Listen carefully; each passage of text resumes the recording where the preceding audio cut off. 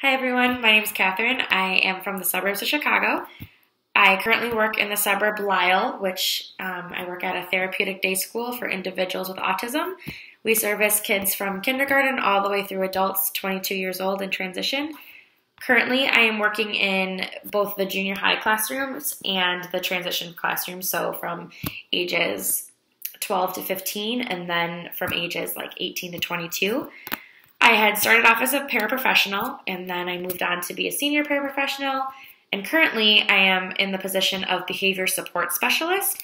So I work directly under a BCBA, and I kind of just help her out with her day to day things, data collection, um, reviewing behavior plans, working with the kids and modeling on the floor.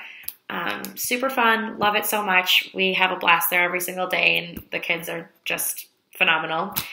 Um, as for my future, professional goals, I think very similar to everyone, I hope to be a BCBA.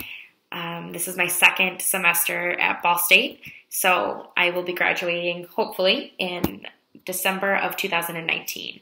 I look forward to getting to know everybody and taking this course and really learning from each other. Talk to you all soon.